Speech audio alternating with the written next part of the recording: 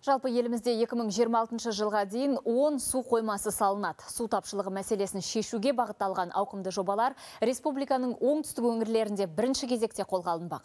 Қызылордада су ресурстары бойынша сенат депутаттарының көшпелі отырысы өтіп, бірқатар мәселелер талқыланды.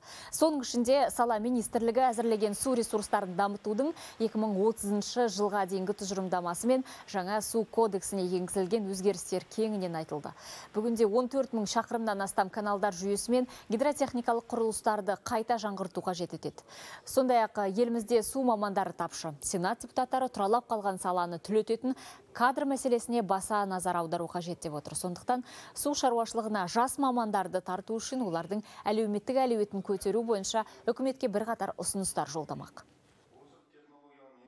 суды пайдалану мәселелерінде заманауи жаңа ә, технологияларды алып келу мәселесі суды үнемдеу мәселесі су ә, мәселесіне тиесілі кадрларды дайындау мәселесі осы мәселелер талқыланып жатыр.